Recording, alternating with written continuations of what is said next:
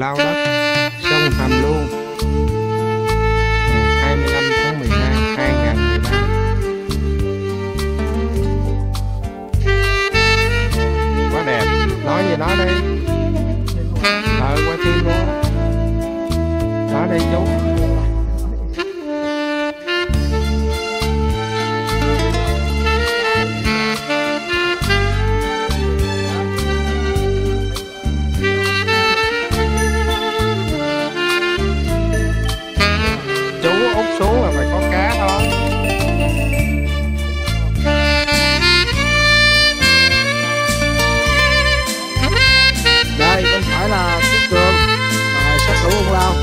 bên trái là ông già.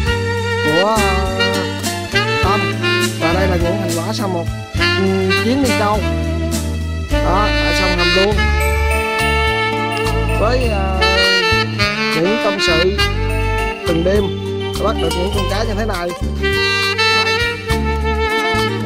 Và hy vọng chuyến sau chúng tôi gặp lại ờ, tại sông hầm luôn là những con mungo sẽ lớn hơn.